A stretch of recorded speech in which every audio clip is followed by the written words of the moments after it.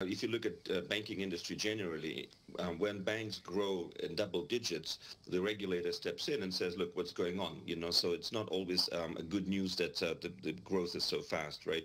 In the fintech world, the reason why they're able to grow faster than financial institutions is because, first of all, they don't have the burden of the balance sheet, especially the liabilities on the balance sheet like banks have, right? So banks have to provide uh, cash essentially or provide capital to, to handle their liabilities. But also because uh, fintechs and young companies, they focus on technology a lot, right? And so technology itself is something that drives uh, growth and drives profitability. Now, if you look at the uh, the actual top line, um, if you look at most of the fintechs, a lot of their top line is generated through technology, but not through banking. Whereas if you look at the banks, a lot of their top line is generated through fee income and uh, and um, and basically lending.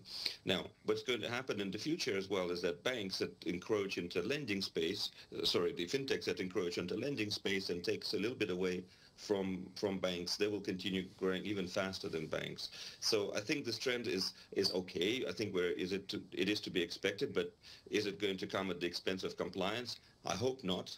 I believe that by now, 2024, we'll see only strong fintechs will survive. And the strong fintechs, in my definition, are the ones that take care of compliance, take care of regulatory changes, and make sure that they're focusing on something that really makes money, which is lending.